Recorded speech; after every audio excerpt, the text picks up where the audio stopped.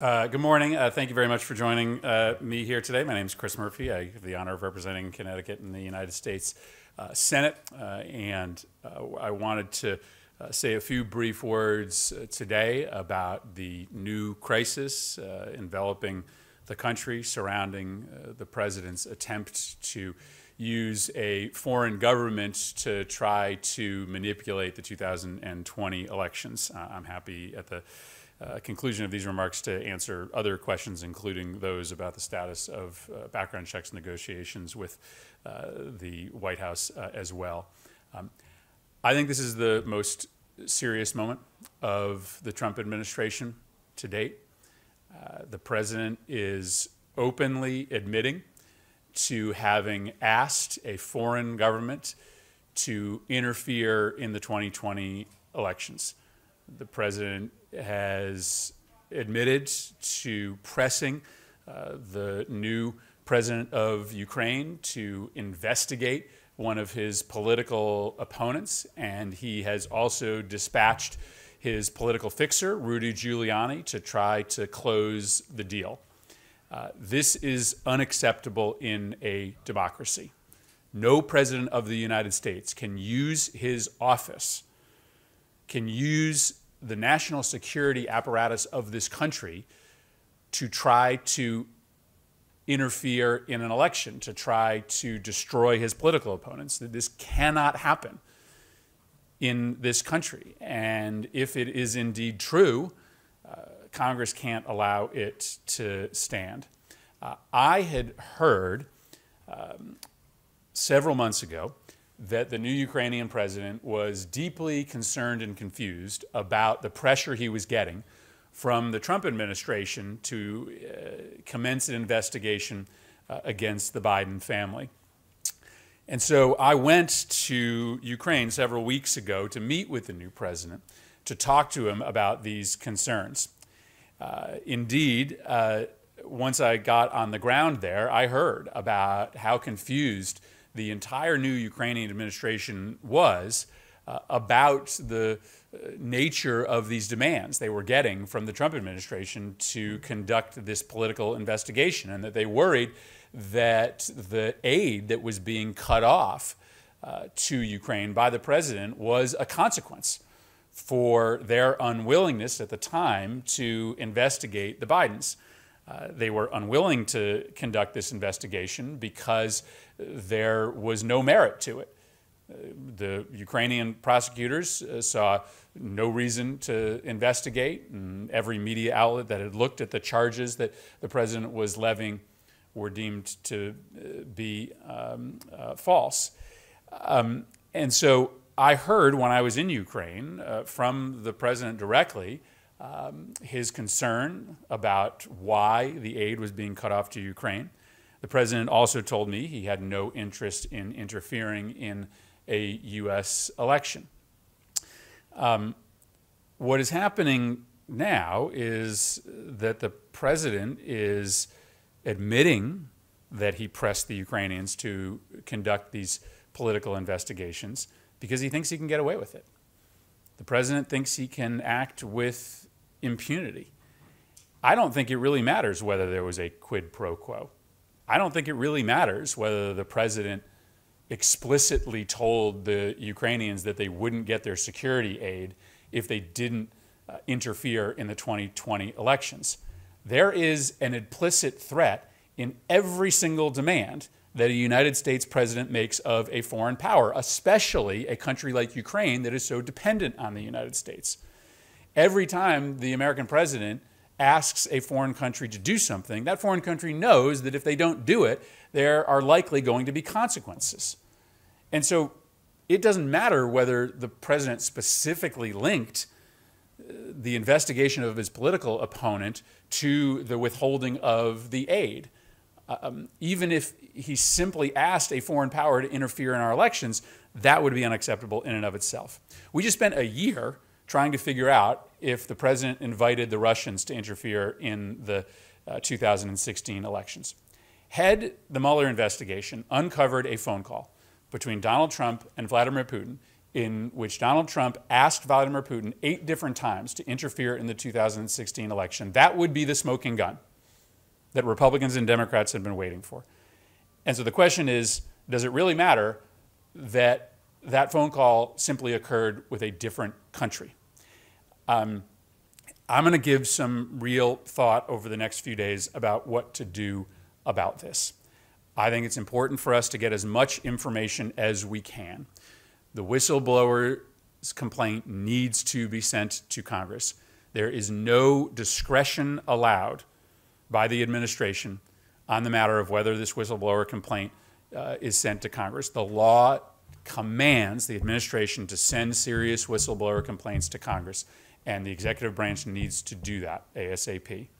Um, I know the obvious question is whether the House should proceed with impeachment proceedings.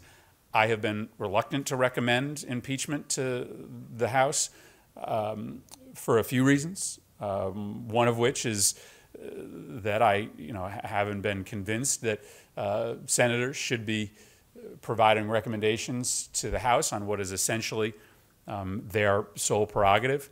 Um, but I'm going to give some serious thought uh, to, to, to, my uh, position on this matter in the coming days uh, because I, I, don't know how I live in a country, I help lead a country that allows a president of the United States to openly admit to this kind of corruption uh, and get away with it. Uh, so um, I will leave it there, uh, and I'm happy to also answer some questions on uh, the status of uh, background checks negotiations as well. Senator, can you elaborate sort of what you talked about when you first found out about sort of these rumors? Was it before the phone call between Trump and the Ukrainian president, and what did you do with that information? Did you share it with other people? It was so. Um, I st- so I I have been long involved in U.S.-Ukraine relations, um, in large part because we have a strong Ukrainian American population here in Connecticut. And, and that Ukrainian American population is deeply invested in making sure that the U.S. Ukraine uh, relationship remains um, bipartisan. They want to make sure that Republicans and Democrats support Ukraine and that there's no politics involved in uh, U.S. support for Ukraine. And that was in part why I brought John McCain here to Connecticut years ago. Uh, he and I did a joint forum uh, on the importance of bipartisan support for Ukraine. So, I, so I've gotten to know uh, a lot of leaders in Ukraine, uh, and I started to hear from them uh, in the springtime, shortly after President Zelensky was sworn into office, that he was getting pressure from Trump political operatives to begin an investigation into the Biden family.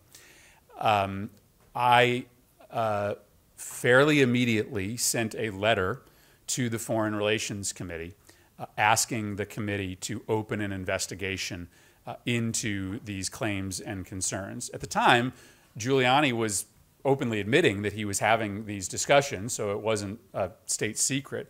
Uh, the Foreign Relations Committee declined to open that investigation. I continued to hear those concerns uh, over the course of the next several months. I raised them repeatedly with my Republican colleagues. Uh, and then I finally made the decision to visit Ukraine for myself to have uh, some of these conversations. Getting back to this issue of uh, impeachment, will you be making a public declaration by the end of this week that you either support impeachment or you're not? I don't know. I, I, don't know. I don't have a I don't have a time frame for it. I, I think in the past, um, to be honest, my reluctance to um, recommend impeachment has been uh, first due to my you know, question as to the proper role of senators um, in recommending action to the House, uh, but uh, also um, my um, uh, my question as to whether there was sufficient public support uh, for such an endeavor.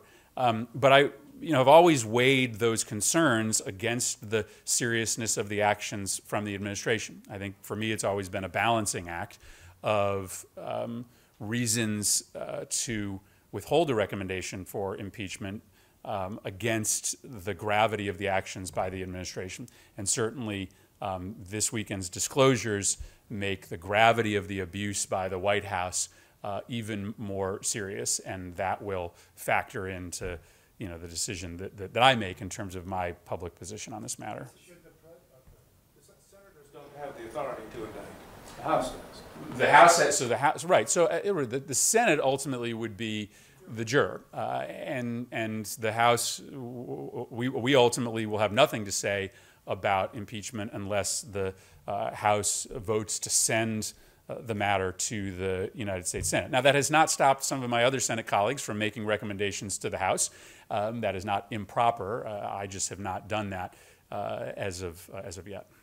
So Isn't there your the visit- concern that uh, if there is a full-blown impeachment investigation, that it just helps him with his base in the election next year? I mean, in, you know, in, in, impeachment is a political process. It's not a legal process. So um, it's not uh, it's not out of bounds to consider the political implications of impeachment, given that it is a political uh, process. Um, I, I, I, I just worry that the president is daring um, th- this country to hold him in check. I, I, just, I was, you know, I, I thought it was extraordinary that the president admitted to the country that he had engaged in a fundamental corruption of his office. He did that, I believe, because he thinks that he acts with impunity these days, and we've all got to consider, uh, you know, can, can consider that. And I have talked with um, Democratic and Republican senators this weekend, and I think that I'm not saying that there are Republicans that are going to recommend impeachment, but there is concern from both Republicans and Democrats in the Senate that the president is engaging in um, in activity that raises uh, new levels of concern. The president release a transcript of this uh, phone call or some sort of redacted transcript of this phone call? He should, um, but I think the first, I, I think what's what's important first is for this whistleblower complaint to be sent to Congress. I mean, there's there's no legal question around uh, whether the whistleblower complaint has to be sent to Congress. But remember, the what we know is that the sum total of the president's pressure campaign on Zelensky is not contained in that one phone call. Uh, I mean, the pr- president has um, been sending political representatives to the Zelensky government since the spring uh, to try to pressure them to do his political work. Uh, so we also shouldn't believe that um, that that one phone call between Trump and Zelensky represents the um, the full scope of the administration's actions to try to get the Ukrainians to interfere in the elections. Remember, Pompeo was asked yesterday um, whether the State Department itself had facilitated these um, uh, these demands of the Ukrainians to investigate Trump's political opponents, and he would not answer that question.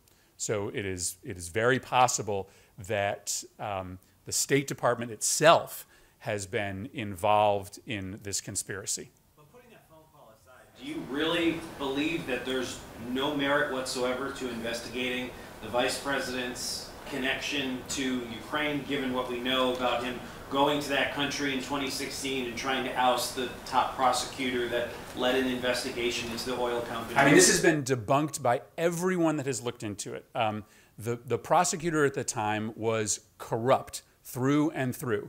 Everyone was asking the Ukrainians to get rid of him. Uh, the IMF was asking the Ukrainians to get rid of him. The Americans, the French, the British, the EU. It, it was an open and shut case that this prosecutor was uh, was corrupt and and had to go. Vice President Biden was making the same ask of the Ukrainians that everyone else was asking. Uh, so uh, you know this is um, you know th- this this is simply a a, a a political creation of the White House that, by the way, morphs by the hour. I mean, yesterday the Secretary of State was on TV accusing Vice President Biden of election interference. I mean, what, what does he mean? Whose election is he alleging that Vice President Biden interfered in? The Ukrainian election? Is he alleging that Vice President Biden interfered in the 2016 election? I mean, it, it's, it's a sign of how there is no connection between the things that this administration says about Joe Biden or anything else and the truth. And, you know, Pompeo said, claimed the, the vice president, yes, yesterday, Pompeo claimed the vice president interfered in an election.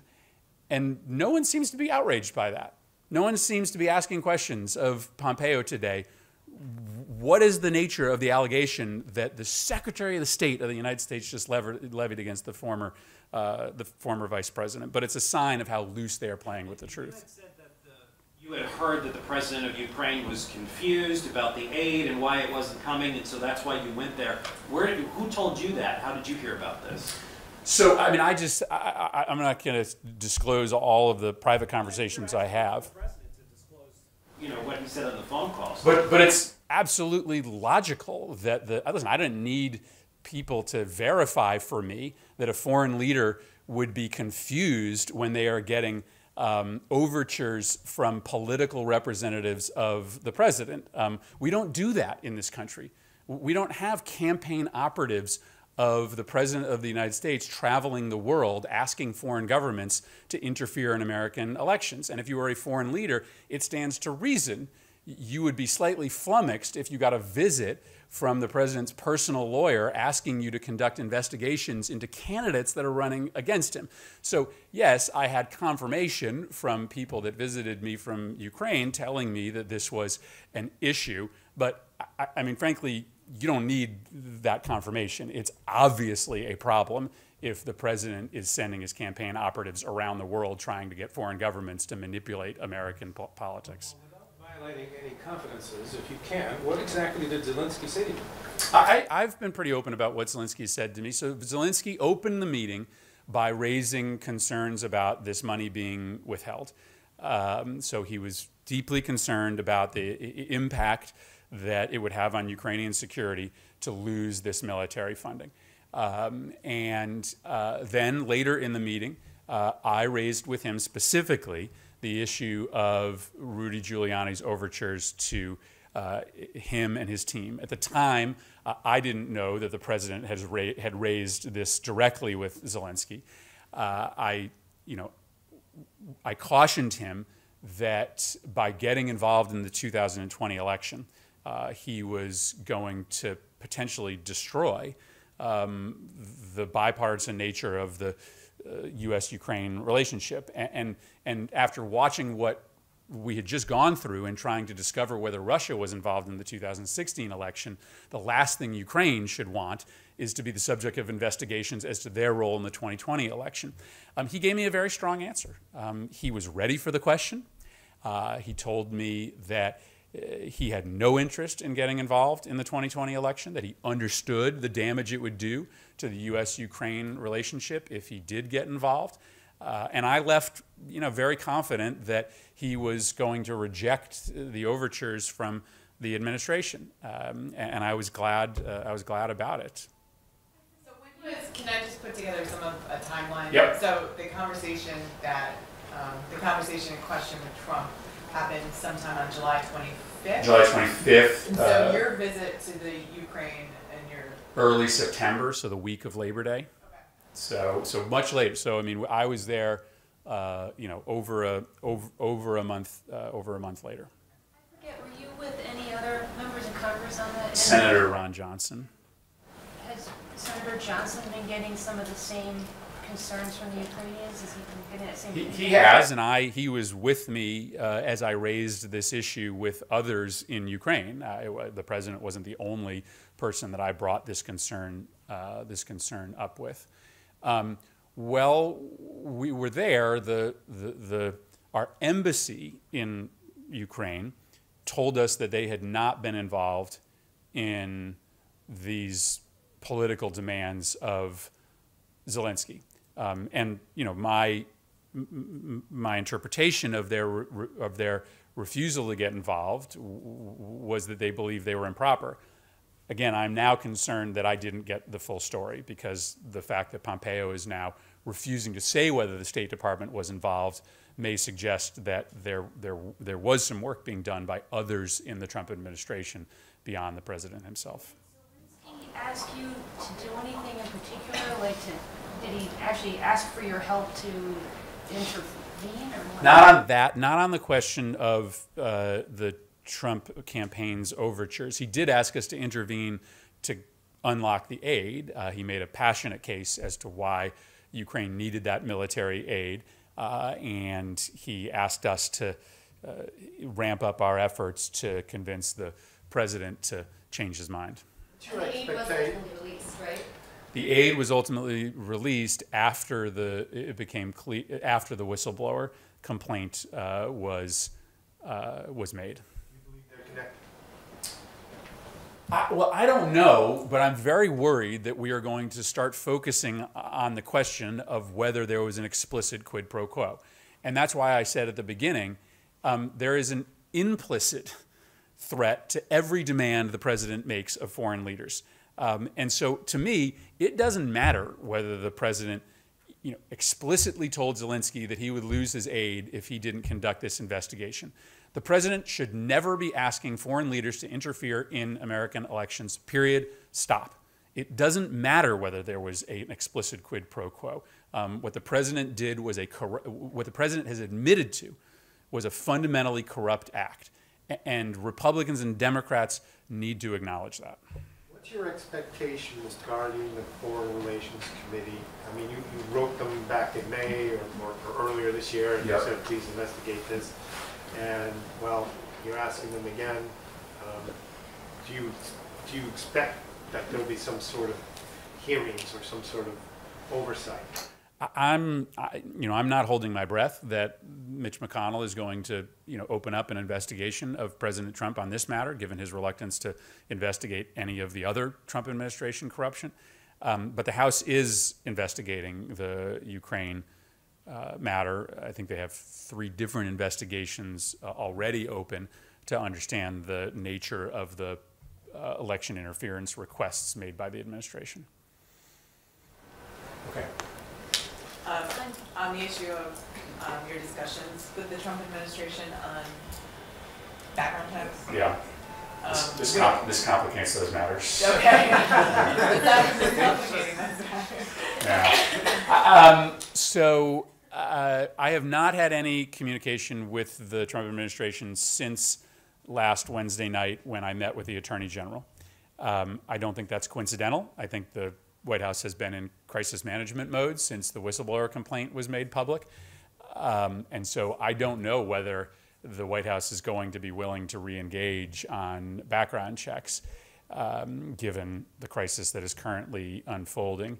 Um, I thought the proposal that the Attorney General was making was a fairly good faith effort to bridge the divide on background checks. There were some things in it I think need to change, but it was a basis for negotiation. And, um, you know, I have told the administration from the beginning that I can't get all, I can't get all my Democratic colleagues to support um, a measure that's less than universal background checks. There will be many Democrats who will um, not be willing to settle for less than universal background checks. I think this is so important that we should be uh, willing to compromise. And if I get a call from the White House that they are interested in having negotiations over the Barr proposal, um, I will be there. I will have that conversation. I, I I, I, think I can, you know, walk and chew gum at the same time. I'm going to continue to lead um, uh, the outcry against the president's actions in Ukraine, but I also understand that if we have the opportunity to save lives by changing uh, the country's gun laws, uh, we shouldn't forsake that opportunity. What about the vapor pipes? Your view on, I think the president made the, uh, you know, the president's uh, instincts are not wrong, that you need to start cutting down on uh, at least the ways in which uh, vaping is marketed to children. Let me ask, Are, what do you think the chances are at this um, negotiation on background checks? I mean, given what the president said last Thursday, I think it was, on, on Fox and Friends. but he says something different on guns every single, you know, every single day. Um, and remember, he says that he's, he continues to represent that he's a strong supporter of the Second Amendment. Well, so am I. And there's nothing inconsistent with strongly supporting the Second Amendment and requiring that everybody prove that you're not a criminal before you buy uh, before you buy a gun. Um, you know, the president now that the NRA has come out against the Barr proposal, uh, the White House has a difficult fundamental choice to make. They can only get a meaningful deal on background checks if they uh, take on the NRA.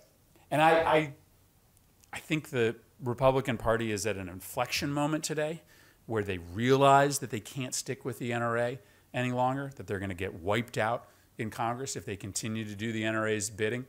But I don't know that they've figured out how to make that break yet. And, and that decision is in front of the White House right now, um, given the NRA's position on the Barr proposal.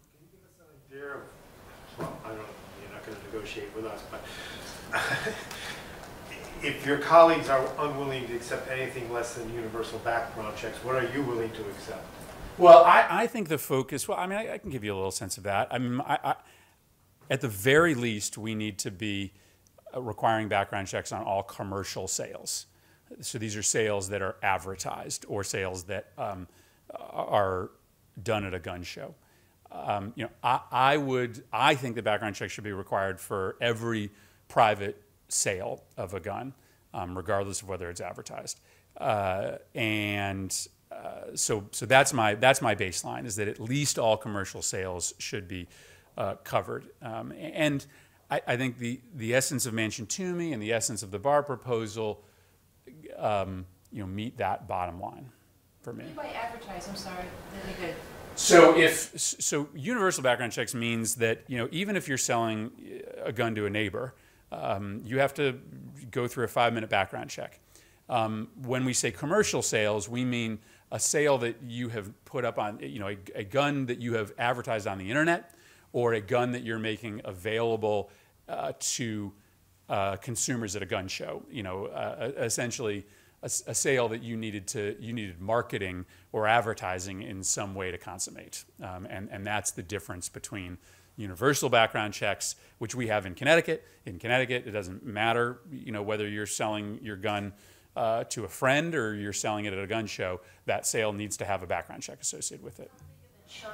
The chunk of the people that aren't going through checks would that be? So the number of sales today that aren't covered by background checks, it's hard to know, um, but it could be upwards of 30% of gun sales, sales, not, not gifts or loans, sales right now happen through the private market. Um, and so of that 30%, I don't know that we, that we have good data to, to know how many of them uh, would not be covered by something like Manchin to Toomey. All right, guys, thank you very much. Appreciate it. Yep, thank you.